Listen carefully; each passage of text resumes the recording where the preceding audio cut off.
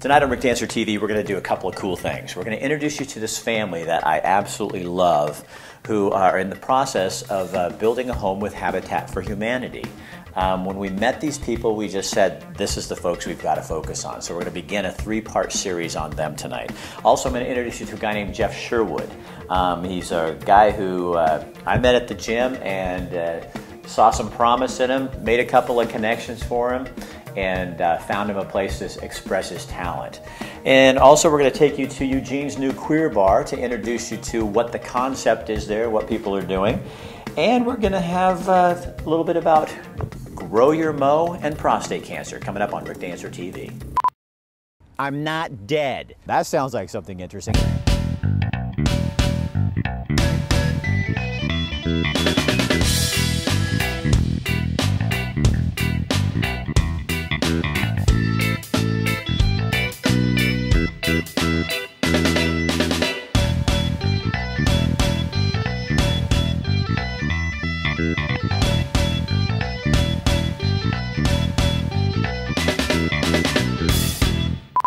I'm Rick Dancer. For the next three weeks, we're going to be introducing you to a family, the Martinez family. I love these people.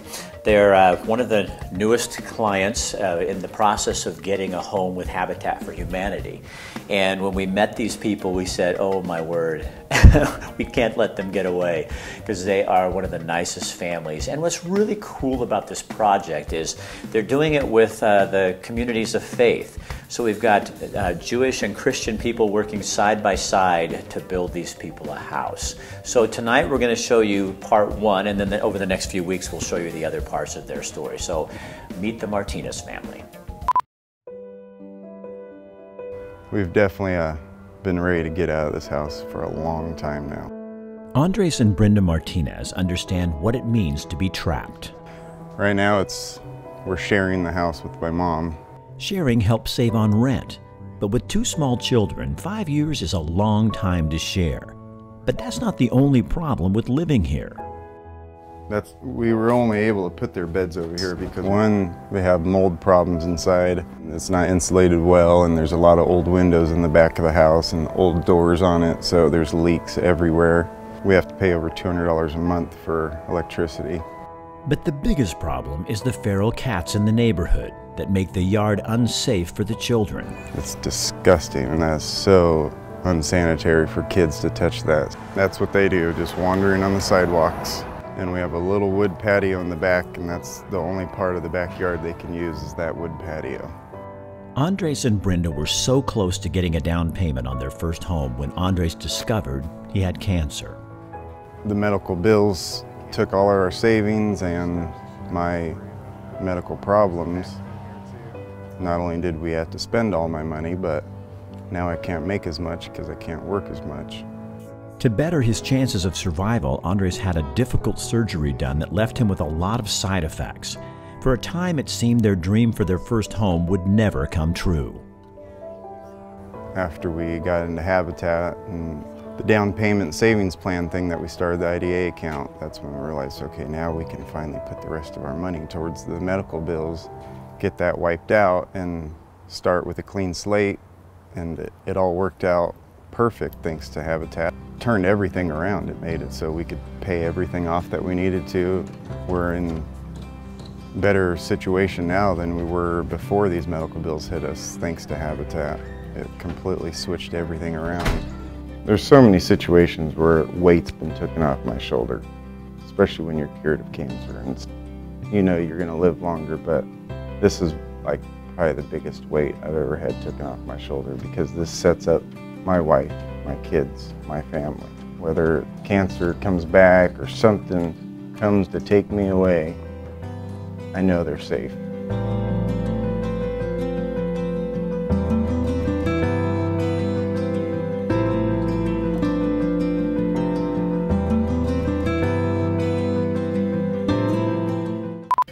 This next guy we're going to introduce you to is a story of, uh, oh, what people don't see in other people because of maybe a different ability that they have.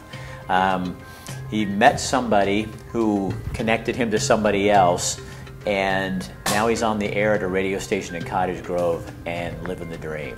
So this kind of shows you what you can do when you network people and you look beyond uh, their physical ability.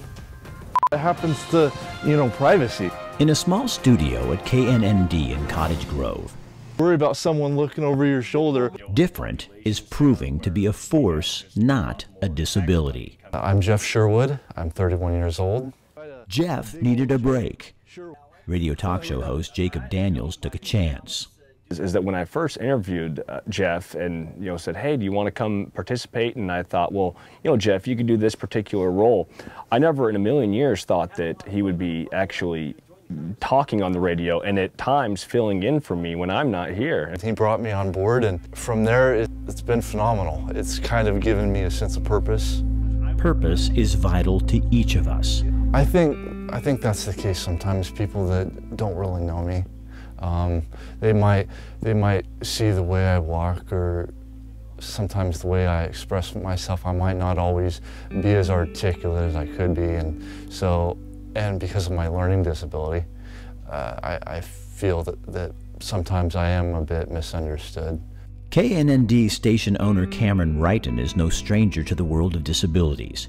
Cameron is blind. All three of us on this show, we have different obstacles that we have to overcome personally. If I was worried about being misunderstood, I never would have t- taken the plunge. A break is hard to find. This is a guy that has a journalism degree from the University of Oregon, and he's, you know, kicking and screaming trying to find work. And I recognized real quickly that it wasn't for a lack of credentials, it's just because he's a little bit different. I was uh, two and a half months premature, so um, I think um, I've definitely overcome a lot of obstacles, and I've went on to do a lot of great things. And I still have a lot to accomplish. He's becoming more and more of a contributor to our program, and to me, that's great because once he is able to do something in sports, which is his true passion, he's going to be able to learn the different aspects. It's just, it's helping him learn to, to be, you know, a, a good reporter one day. I guess it's the drive of, of wanting to survive and prove, and prove my doubters wrong and, and prove the people that do, that do support me that it was all well worth it. A lot is said inside this little radio station, Yeah, this was great. I enjoyed it. Oh, good. And Always a pleasure.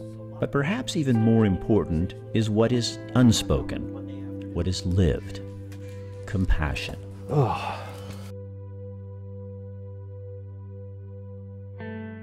was brand new when Sy opened the store in uh, 1978. 50 pounds of flour when we make the dough. It actually makes about 100 pounds of dough. We do this every day. Figure over 37 years, we probably made 13,000 batches of dough or more. It's the foundation of the pizza. Kind of the idea is you're just tightening it, getting the air out, no cracks, no holes in it. So from that two pound ball that had about a six inch diameter, we're taking it out to about 20 inches. Fresh ingredients. We make our dough, we grate our own cheese, we make our sauce, like to think that we make our pizzas with love. All right, that's 21 incher. Size matters. Did you hear the news? McDonald's now offers all day breakfast. People love our breakfast. Whenever they want it, they can get their sausage egg McMuffin, their egg McMuffin, their hotcakes, burritos. We took the news and some of those breakfast burritos and egg McMuffins to a recent tailgate party at a Duck game. So guys, as you guys hear, that McDonald's has breakfast all day now. Breakfast all day at McDonald's? I mean, I will give you some fresh McDonald's breakfast because now you can get it all day. I'm loving it. Breakfast all day at McDonald's. Want a breakfast? All day. It's 110 breakfast all day. Go! Go get your breakfast! Guys hear there's breakfast all day at McDonald's? breakfast all day? You've got to be kidding Wait, me. wait, wait, wait. I thought it was until 11. Hey, McDonald's! Thanks for the breakfast! Go Ducks! That's right. Or when I walk? All day, every Anytime of the day. Oh, McDonald's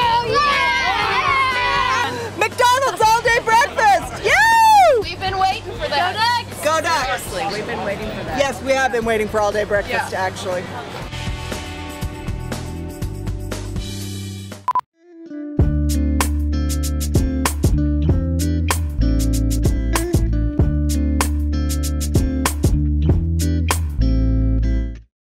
I'm Rick Dancer. This is What's Happening Downtown Eugene. And what's happening in downtown Eugene is we have our first queer bar in 10 years called The Wayward Lamb. And yes, I did say the word queer.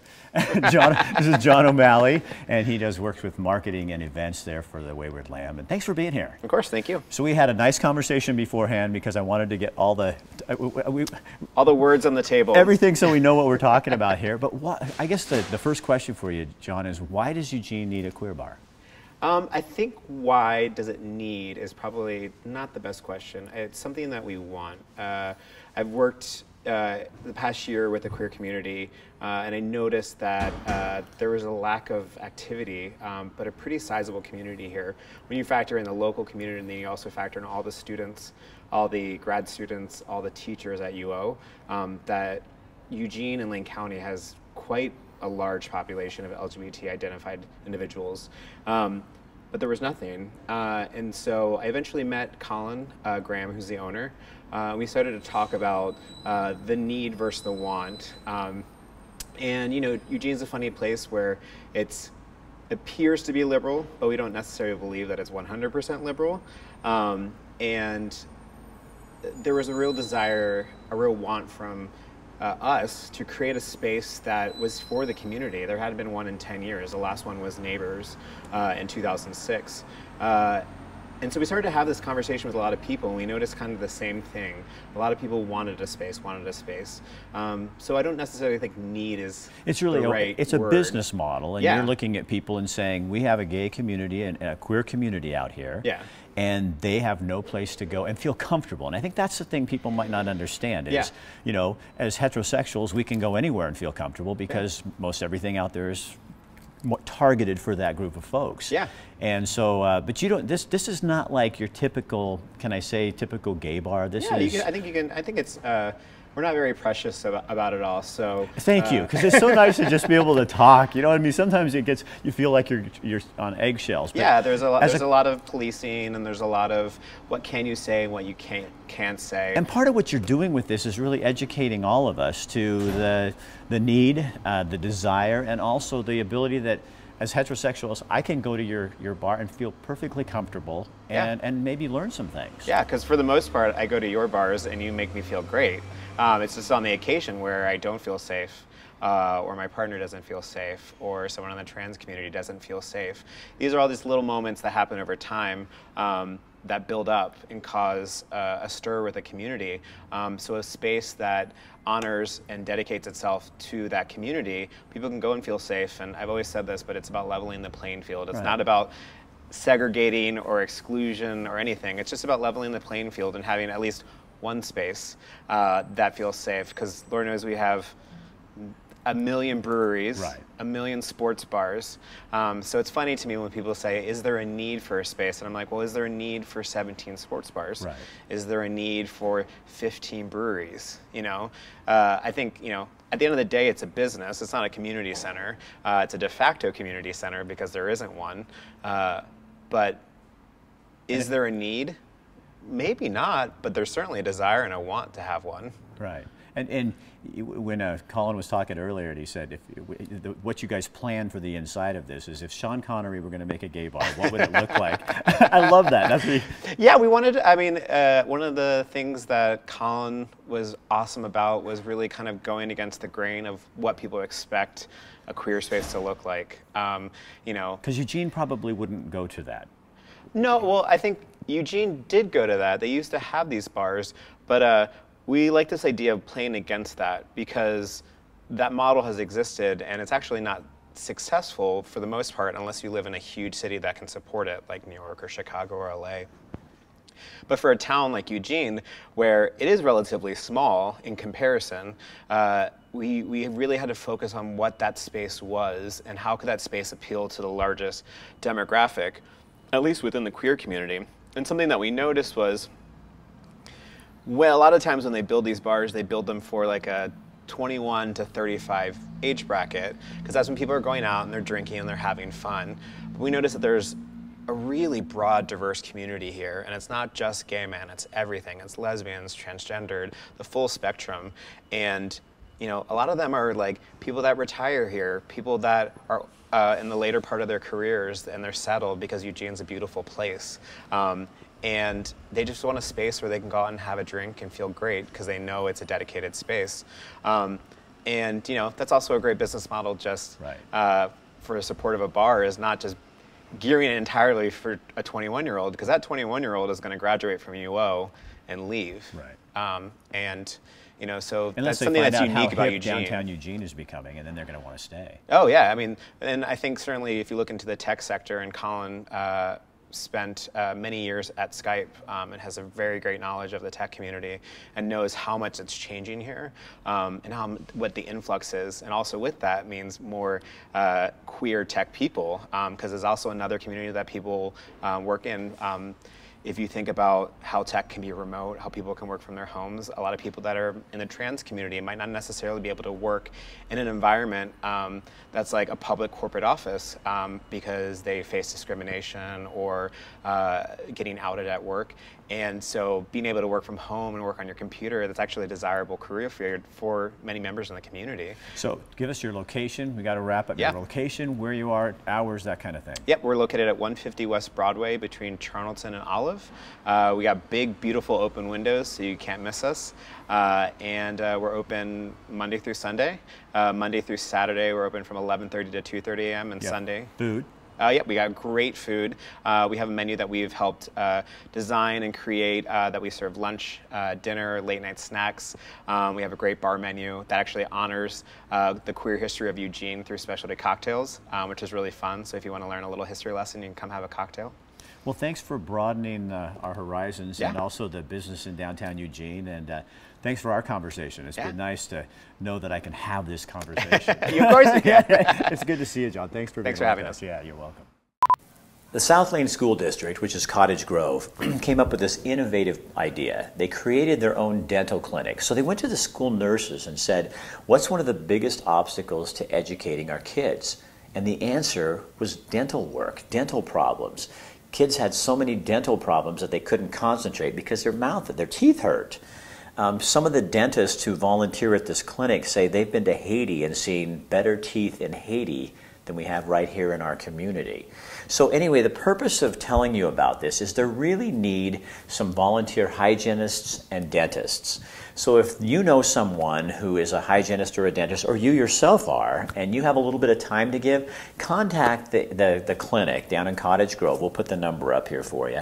And, uh, and let them know that you're interested because I'll tell you what, you know, there's uh, a lot of things we can do to affect people, but when you hit the rubber with the road, th- this is a basic need that's really getting in the way of some kids getting educated, so they could really use your help. It's a great way to build relationships.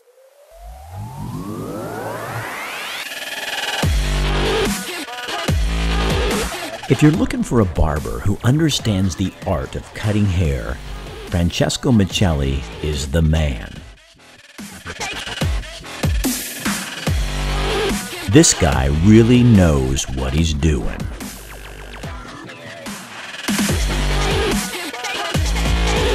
He takes his time, he understands his customer, and he knows what makes you look good.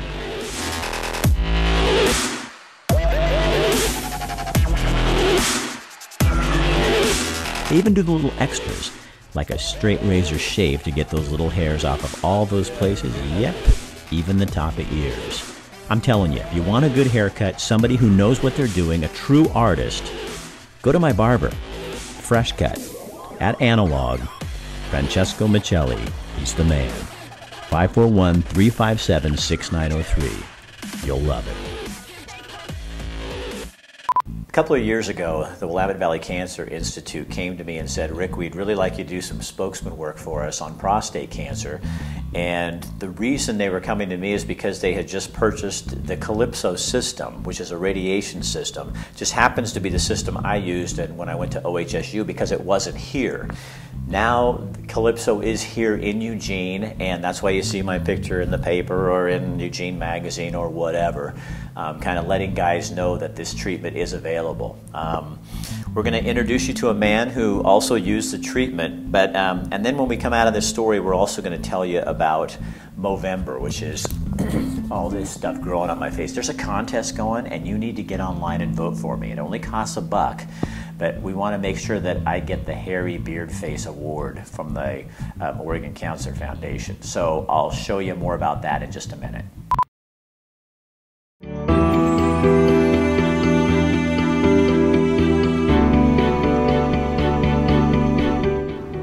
Ground shipping will be there Tuesday, and you don't need any extra insurance.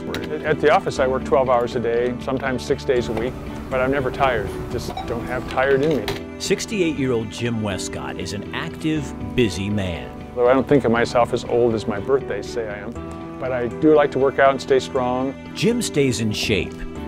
He's precise and detailed, especially when it comes to his health and his cars. I always have amazing looking cars and inside and out, keep them really sharp.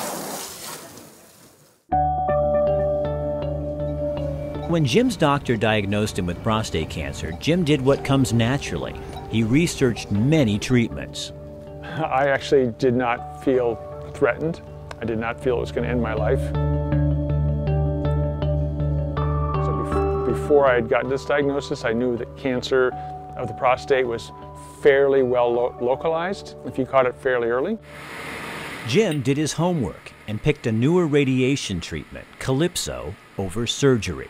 The surgery was the most devastating uh, and one of, one of the more common alternatives to radiation. And the surgery has a great uh, impact on your lifestyle. Uh, takes you out takes you out of commission. I can't go to work anymore for, for a period of time. Uh, there's um, just a real drag on my lifestyle with the um, urinary problems. Uh, you could have um, sexual difficulties. I didn't want to go through that if I could avoid it. Willamette Valley Cancer Institute in Eugene was the only treatment facility that offered Calypso right here in Jim's hometown. And I met Dr. Fryfield in Willamette Valley Cancer Institute and came away feeling this is what we want to do. The Calypso is going to be our best treatment, safest treatment. It's uh, close to home.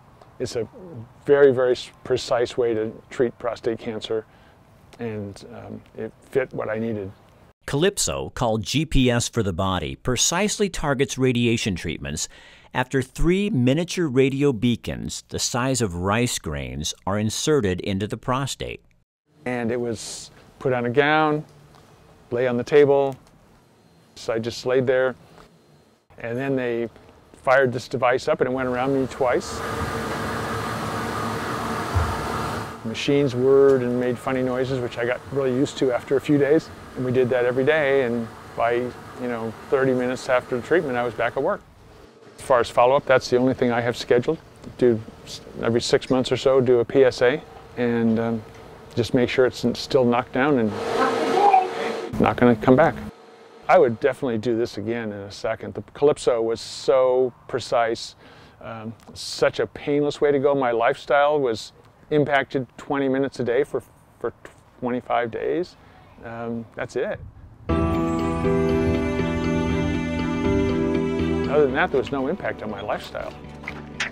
So I, I find that pretty good compared to weeks and weeks of recovery, maybe a week in the hospital. It's glass, right?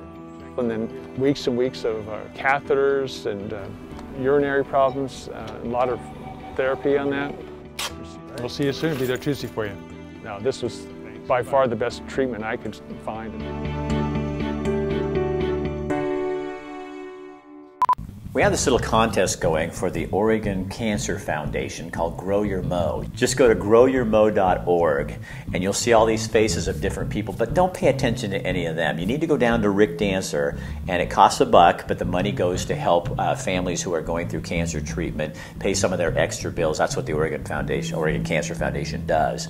So you can go on there, and just click on my name, uh, donate a dollar or donate 10 because we're having a contest to see who can win at the end of the month. And I want to be the hairy guy. I want to be the one who wins, who has the best mustache. I don't do just a mustache, I have to do the full beard because. Uh, 1970s porn star like uh, doesn't work so anyway go on there find out more about it and uh, get involved it's a fun month and it's still early you can still start growing your own if you want to ladies i don't recommend it girls with beards So I leave you tonight with a little story. I'm sitting in my office here, and uh, a couple of months ago, a, a gentleman who uh, is basically homeless, and um, he, he, is a self-described alcoholic and looking for some assistance, came by my office, and and uh, Aaron just walked in, and we started having a chat. And so now periodically he'll just stop by and come in and, and say hi to me. And today he walked in my office, and uh, I'll tell you it's so humbling uh, when you see how what people go through and how hard they work at just living. I was sitting here asking him, I always ask hard questions, any of you that know me, I, I love to ask people questions. And I said, What do you believe about life? And Aaron looked at me and, and kind of get a little teary and he says, It's really hard. Life's really hard. And he says, It's just hard for me to do basic things like clean and clean up and take a shower and um, so he's going to go to uh, the Willamette family uh, and, and, and look at getting into their program to get some treatment. And so he and I were just having a, a chat, and he loves coming in here because he thinks I'm famous. And, uh, and I just told him, you know, Aaron, you and I aren't that different. And he looked at me kind of puzzled and said, yeah, we are. And I said, no, we're really not you have your problems and you deal with them the way you're learning to deal with them and trying to cope, and I have my problems and I just have healthier ways maybe to, to deal with my issues. And then I said, you know, here's kind of what I'm doing now. I, I, believe that I have the capability to do bad things and the capability to do good things in my life. And what am I going to feed? So it's whatever I feed is what's going to rule me. And so my new kind of method of operation is I'm not feeding the beast. I'm not going to feed the bad. I can't concentrate on feeding the good. I have to, I'm a, I'm a guy. I, I can't multitask. I do one thing at a time. All I do is focus and say to myself, don't feed the beast. Aaron looked at me and had this big smile on his face and he goes, I get it. And then I said, Aaron, see what I mean? You and I are not that different. And you know what's funny? He goes, Rick, I love coming in here. And, you know, maybe we all just need to take a little more time and let the Aarons of the world just come into our office, uh, sit in a chair, and then really be interested in their lives and ask them some questions. It was actually probably blessed me at least as much as it did him, and I think it might have blessed me a little bit more. So have a good week. Go out. I hope you think about that. Um, stuff's going through your head. Don't feed the beast. And when somebody steps into your life, take time. Thanks for joining us. One last thing I want to remind you about is Rick Dancer Media Services. We do a lot of things, everything from social media to videos for YouTube, videos for our show, videos for your website. We can produce a show from your location. Give us a call. We're really reasonable and we want to get the message out and help you.